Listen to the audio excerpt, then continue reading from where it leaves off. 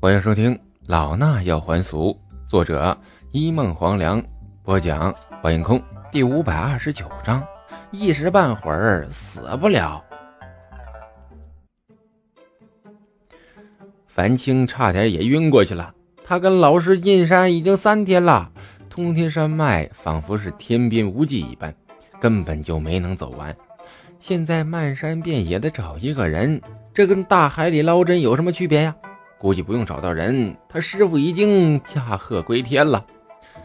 樊青道：“呃，法师，你不是说笑的吧？”“当然不是。”“静心，你赶紧去找人。”“静法，你背着人走，一起找去。”方正立刻下令，同时把法力还给了红孩儿。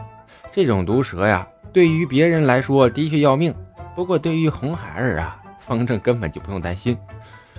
神通所到之处，还不是立刻解决？只不过方正不想让红孩儿当着面儿施展神通罢了，麻烦还是越少越好。红孩儿感受着法力恢复，立刻领命，立即就冲进了树林中。范青看到这一幕，赶紧叫道：“呃，法师，你疯了！他一个小孩子进了森林，岂不是送死？蚊虫那么多，万一……嘿要不我们还是出山吧？不管怎么样。”出去还是有希望的，施主不用担心，我徒弟呀，他特别擅长找人。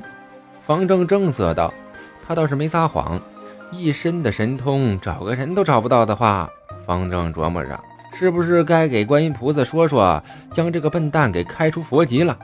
至于蚊虫，红孩儿皮厚的呀，方正都打不动，哪家蚊子若是一叮他呀？”哎呀，方正绝对能把他当妖精给收了。樊星只当方正正忽悠他呢啊！正要说什么，忽然听到远处有人在说话，就听到前面有个人在那高喊着：“天高云淡人如风，我自逍遥抓蜜蜂。”哈哈哈哈哈！哎呀，被蛰了，还挺疼的。方正一听啊，眼睛顿时一亮。这声音耳熟啊！随后立刻叫道：“没袜子过户！”哎，没有这话，前面可是乐乐天真人。话音才落呀，就听到一阵脚步声，随后啊，树林就被人扒开了，一身道服的道士跑了出来，正是乐天真人。边上则跟着一脸不爽的红孩儿。红孩儿还打算借这个机会再浪一会儿呢，结果一出去就碰到乐天了。因此，红孩儿看乐天的眼神啊，就是一副嫌弃不爽，然后不断暗示：“你就是个牛鼻子。”乐天根本就不在意，他自己心情好就行啊，管别人啥眼神呢？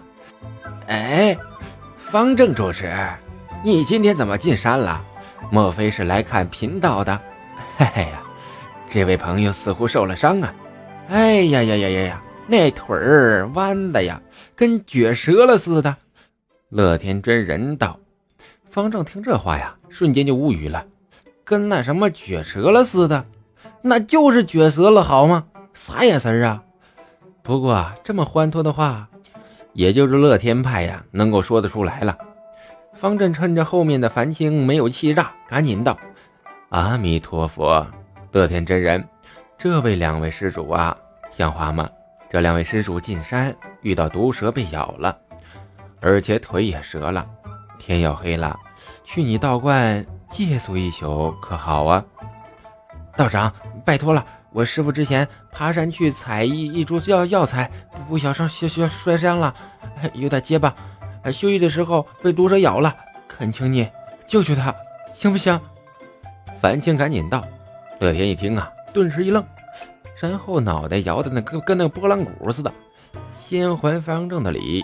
因为一只手提着个葫芦不方便，左手竖起，食指弯曲，下起膝，上齐眉的道：“无量观。”这才继续道：“方正主持可以，你们不行啊？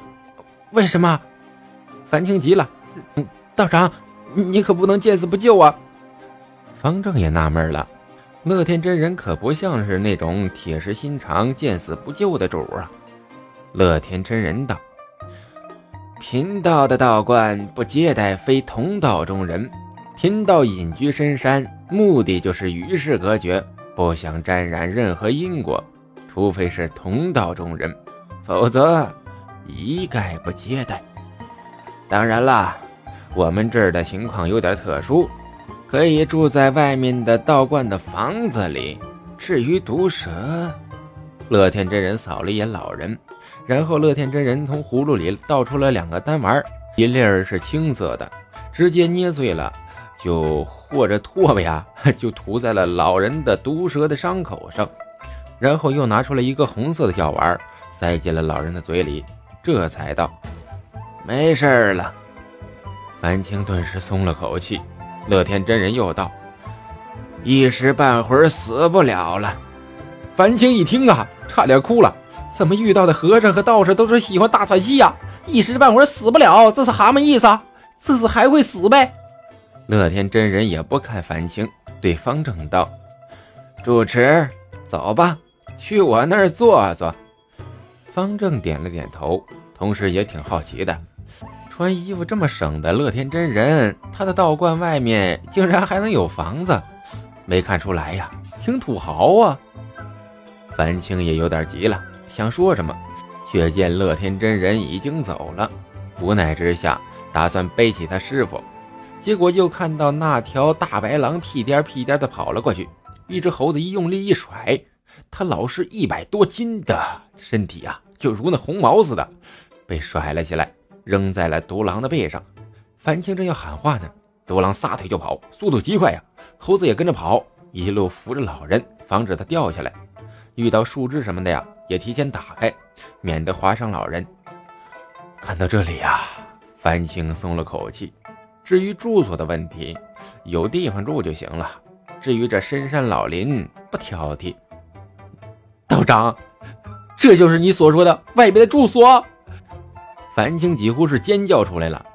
樊青指着眼前一个宽不足三米、长不足两米的临时窝棚，他快疯了！这是人住的吗？养猪都不够吧？无量关，你要是看不上的话，可以另寻住处。乐天真人说完，根本不管樊青，变了脸似的，笑呵呵地对着方正道：“方正主持，贫道最近有所感悟，正愁没人说说。”一同进道观里坐坐，聊聊。方正愕然，看看乐天真人，再看看悲愤的樊青啊，随后摇了摇头。乐天真人虽然没有给樊青很好的接待，但是不管怎么说呀，茅草房是泥土砌的，还算坚固，护他住一晚上那是没问题的。更何况乐天真人也保住了他老师的命，这是恩德。